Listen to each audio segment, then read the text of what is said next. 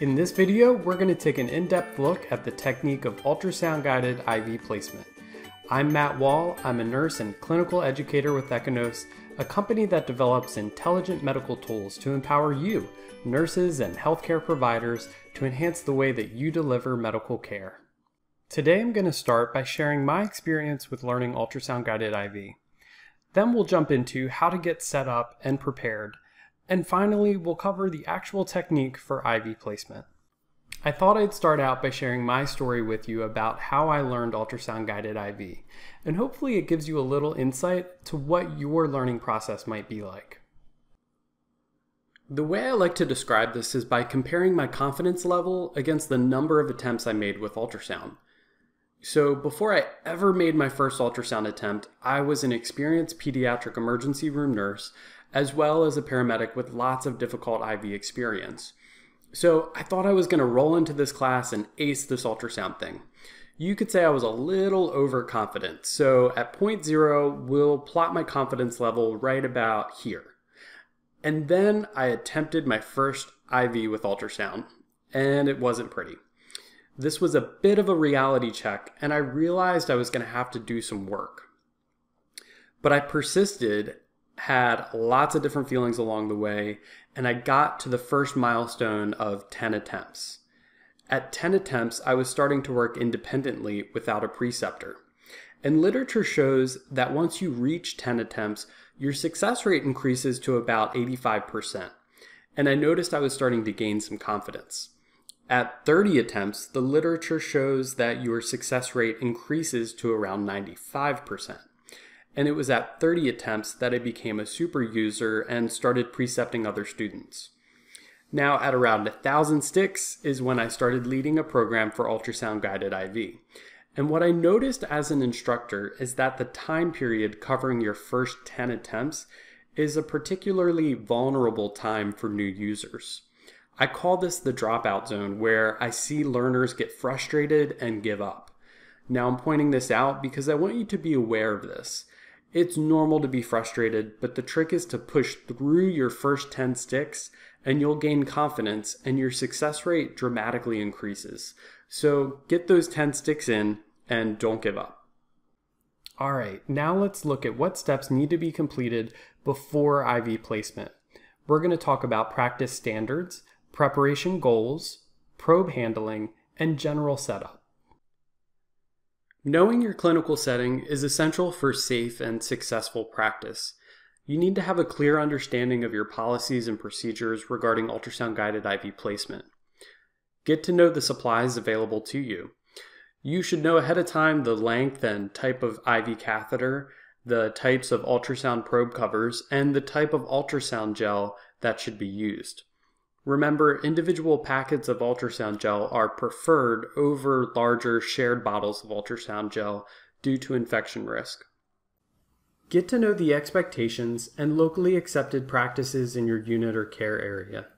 For example, do specific indications need to be met prior to ultrasound guided IV, such as completing a vascular assessment tool on the patient to determine their degree of difficult access? What are the expectations regarding documentation? And what are the cleaning products and methods you are expected to use when cleaning the device? For more information on compatibility of the EchoNous vein with cleaning and low-level disinfection agents, review the technical bulletin entitled EchoNous Compatible Cleaning and Disinfection Agents. Preparation is key for setting yourself up for successful IV placement. This will ensure your procedure runs smoothly and it helps you project confidence. First, prepare yourself. Of course, wash your hands as this is the number one way of preventing hospital based infections. Gather the necessary supplies of ultrasound guided IV placement. It can be helpful to have a pre made ultrasound guided IV supply bundle, or you could stock these supplies in a single location. This can be a huge time saving hack especially when needing to get IV access in emergency situations. Prior to entering the patient space, conduct a quick mental walkthrough of your steps. This can help identify missing supply items and refresh the steps for IV placement in your mind. Prepare the patient. Explain to the patient in detail the steps of ultrasound guided IV placement. This may be a new procedure for the patient, and they may have a few questions. This will set clear expectations for the patient, minimizing surprises, and ensuring they are fully informed and on board. Prepare the device. Ensure the device is clean, and if necessary, clean the device before use. Power on the EchoNous Vein system and check battery life. Having the device power off in the middle of the procedure would likely lead to unsuccessful IV placement, and it damages patient confidence. Complete the system setup by selecting the vascular option and applying the appropriate presets. Apply a probe cover based on institutional standards. Lastly, prepare the environment. Make sure the room is set up and the ultrasound machine should be placed at the head of the bed so that you can easily see the screen and the patient. The patient should be comfortable and sit facing you. Let's look at an image of a typical room setup. Notice how the clinician in this picture is facing the patient. The patient's arm is extended, making it easily accessible. It's ideal to have the ultrasound machine positioned on the same side of the patient as yourself, as seen here. This puts the device within reach, allowing you to access the image adjustment features such as depth and gain during the procedure. Depending on the room setup and available space, the device may need to be positioned on the opposite side of the patient, but just remember you likely won't be able to reach the screen for adjustments. Let's take a look at the steps you'll need to complete before cannulation. Let's take a look at how we're going to handle the ultrasound probe. So the first thing is that you want to hold the probe in your non-dominant hand. Now I'm right-handed, so that means I'll be holding it in my left hand. This is going to feel a little bit awkward at first, but it's important so that you have your dominant hand free to hold the needle tip. Now, after you hold it in your non-dominant hand, you're going to want to orient the probe. So there's a small probe marker on the side here, and this needs to match up with the probe marker on the screen. So in this case, the probe marker is here on the left side of the screen. So I'm going to make sure that my probe marker is oriented to the left side of the probe and not flipped. So left and left. Once I've oriented my probe, I want to make sure that I'm using a C grip to hold the probe. So kind of make a C with your hand, grab the probe, and then you'll place it on the patient. Now make sure that you're holding lower on the probe and not higher up. It's really easy to put too much pressure into the probe. So hold lower down on the probe, and this also allows you to anchor your fingers. So using these fingers here, I'm going to anchor, which again gives me more control. You really don't want to put too much pressure into the probe. I see a lot of uh, a lot of students that are scanning somebody's arm and they can't find a vein anywhere. I'll remind them, hey, relax your pressure a little bit. And they do, and suddenly the veins pop back into view. So you could almost imagine that the probe is a paintbrush where you're just kind of delicately painting or even that you're kind of hovering just above the skin so that you could slide a piece of paper under there. All right, now that you've got a handle on your ultrasound probe, we're going to look at vein mapping so you can find a vessel to cannulate. The first thing you want to do is apply a tourniquet to your patient. This is going to increase the pressure in the vessel, making the vessel appear larger, and it's also going to make it easier for the needle to puncture the vessel. Just remember that if you're calculating a vessel to catheter ratio, this should be done without a tourniquet. So the first thing we're going to do is apply some gel to the patient, which in this case is going to be me. So starting in the antecubital region is helpful because your vessels are larger in this area, making them easier to find. So you kind of scan around and once you locate a vessel, and there's a nice big one, you want to track it down to the forearm area, which is the better location for needle insertion. So we'll keep this in the center of the screen and start tracking it down. Now notice how the vessel, the vein doesn't just run straight down my arm. It kind of flows with the contour of my arm. So I need to flow with it. So I've got it in the center of the screen, tracking it down to the mid forearm, There we go. Great. Now, if you remember from the first video, you can also make a C with your hand, C for cephalic, and follow that straight up your arm to the mid forearm area, and you should right, run right into the cephalic vein. And there's mine right there. Get a little more gel. So there is my cephalic vein. So once you've located your vessel, you want to go ahead and track up and track down, making sure that your vessel is nice and round and straight. And you also want to look for things to avoid, such as a confluence. And actually I can see one right here, two vessels flowing together. So I would either start above or below that. You also want to avoid um, a thrombus or valves or nerve bundles.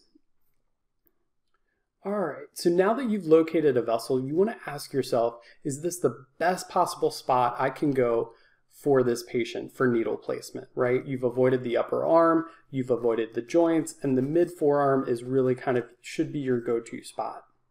So we've located the vessel, now we need to complete a compression test. A compression test is going to allow, allow us to rule out a thrombus by fully collapsing the vessel. So the vein should fully collapse easily. And then we also want to do a partial collapse to see if it pulsates. So this one is fully collapsible with little pressure and it does not pulsate. If it pulsates, it's an artery. The compression test can also be done as you're vein mapping. So you end up doing kind of little compression tests as you go along checking your vessel. So that way you're not missing a thrombus anywhere along the vein. So now that we've located our insertion point, we want to go ahead and center the vessel on the screen. Let's say, oh, there's that confluence, so we'll go above it. So I'll center it on the screen right there using my guidelines. And if it's centered on the screen, then I know it's centered on the probe and I can aim my needle for the center of the probe. In this case though, I'm going to go ahead and put a mark where my insertion point is going to be using the back of the needle. So a little bit of pressure there. I've marked my location. Uh, remember to take off the tourniquet and give your patient a break, and then we'll talk about how to prep the area. A quick note about angling the probe to make your vein mapping flow better. If you were to slide the probe down the patient's arm without being in plane with the vein, you would constantly have to course correct to keep it in the center of the probe. Let's see what this would look like. Watch how we map down the arm, but then have to shift over to recenter the vein. We keep having to move down and over, down and over, which results in this zigzag or stair-step pattern. To avoid this, simply rotate the probe to be in plane with the vein. Now we're able to move smoothly down the arm. By angling the probe with the vein, you get a more direct path for vein mapping and can more easily keep the vein centered in the probe. Preparing the patient's skin really shouldn't be too different than what you're already doing for regular IV placement, and it's going to be based off your institutional standards make sure you wash your hands and apply a pair of gloves. The first thing you'll want to do is wipe away the old gel.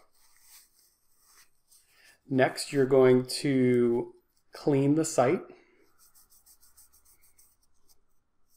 And this will be done with whatever your institution sets forth in their policy.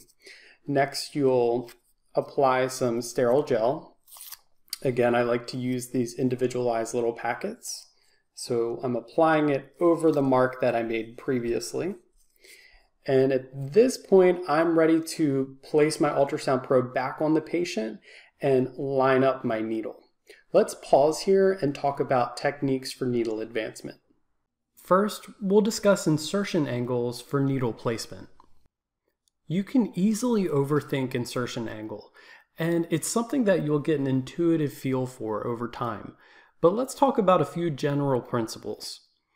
Notice the positioning of this needle here. It is placed at about 45 degrees, which is not too low or too high. This will be a good angle for most of your vessels, especially those ranging in the depth from 1 to 2 centimeters.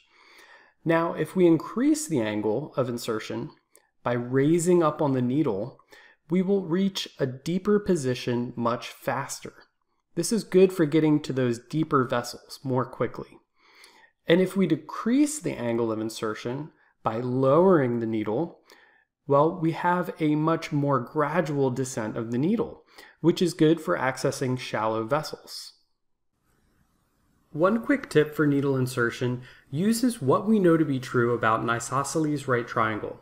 Now, I know it's probably been a little while since you've had high school geometry, but stick with me on this one. It's easy to determine the depth of a vessel by using the depth markings on the EchoNous vein system. So let's say we found the depth of this vessel to be 1.5 centimeters. If we were to come back from the probe 1.5 centimeters and insert the needle at a 45 degree angle, it creates the special right triangle and puts us in perfect alignment to hit the blood vessel. Now let's explore the technique for needle advancement. For needle advancement, we first center the vein on the ultrasound probe and align our needle to the center probe marker. Consider your angle of insertion and then advance the needle just until the needle tip intersects the ultrasound. Now, advance the probe forward. Next, advance the needle back into the ultrasound beam. You may notice we are taking incremental steps towards the blood vessel. This stepwise approach gives a fine degree of control as we advance the needle. Now let's advance the probe and advance the needle. Notice the needle tip has now entered the blood vessel. Let's advance the probe again. However, if we advanced the needle on our current path, we would pass through the other side of the vessel. To prevent this, we will lower the needle as we advance. Let's make one more advancement of the probe and one more advancement of the needle. At this point, we are fully housed in the vein and can advance the catheter. A critical component of ultrasound guided IV placement is always knowing where the needle tip is. And this is complicated by the fact that the needle tip and any point along the shaft of the needle looks pretty much the same on ultrasound. Let's take a look at what I mean by this. Take a look at these two images. They appear very similar, showing a circular vessel with the reflective white dot of a needle. But one image is showing the needle tip, and the other is showing a point along the shaft of the needle. Let's see where the ultrasound is positioned on the needle to reveal which is which. In the first image, the ultrasound beam is at the tip of the needle, revealing that this is an image of the, of the needle tip. The second image shows the ultrasound beam along the shaft of the needle, revealing that this is an image of the needle shaft. Don't let this second image trick you. Although it appears as if the needle tip is nicely positioned inside the vessel, since we now know that this is the shaft of the needle, by moving the probe, we are able to locate the actual tip of the needle and find it here, completely out of position.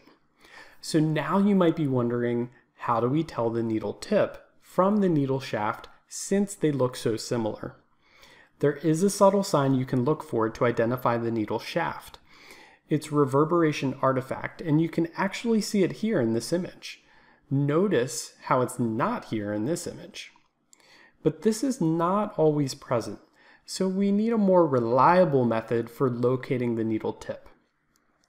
This is why we use the stepwise pause and advance approach previously described. Let's take a closer look at this method. Let's take a look at this pause and advance technique. So the first thing we'll do is apply gel to the practice block. There's actually a fair amount already on here. We'll go ahead and position our probe on the block and locate a vessel. Conveniently, we've got one right here. I'm going to go ahead and center the vessel on the screen so that way it's centered in the probe and now I know I can aim my needle right for the center of the probe. I've got my needle, it's bevel up. I'm lining it up with the appropriate insertion angle. I'm Going to go ahead and insert the needle and slowly advance just until I see the needle tip come into view. And there I can actually see it moving the tissue around it. Sometimes you don't get a perfect view of the needle. So I know it's there. There's that tip. I'm going to probe away, pause, now advance my needle back into view, and boom, there it is, right in the center of the vessel. So this is the view you're looking for. We'll continue a few more advances. So I'm pausing, probing away until I lose sight of the needle tip. Now I'm going to advance the needle back into view. There it is again. Probe away and advance the needle. And there it is again. So you can see how I'm using this stepwise pause and advance. This allows me to know where the needle tip is at all times. So let's look at some examples of what happens when you don't always know where the needle tip is. In this first image, we're going to see what happens when you don't completely lose sight of the needle tip. Now this is showing you what you should not do. First we advance the needle, then advance the probe. Notice how the probe was moved forward but not far enough forward to the point where we lost view of the needle. We can see that the needle tip is almost through the other side of the vessel already, but we wouldn't know this based on our current imaging. So we would probably advance the needle more and advance the probe. And this is usually the point where you realize something funny is going on. You might advance the probe again a little more and realize you went completely through the vessel. Now, let's watch what happens when you lose the needle. And this is what you should do. We advance the needle just until it comes into view. Then we advance the probe, completely losing sight of the needle. Again, advance the needle just as it comes into view, and it looks like we're about to break into the vessel. Advance the probe, and advance the needle at this point, we would know our needle tip is fully in the vein and we could begin to flatten out as we advance. You can see how our constant awareness of the needle tip by losing sight of the needle gives us good control and prevents us from over advancing and blowing the vein. Great work! That was a lot of material to cover in a short amount of time. And just remember you can revisit these videos at any point in your learning process. Thank you and good luck with those ultrasound guided IVs.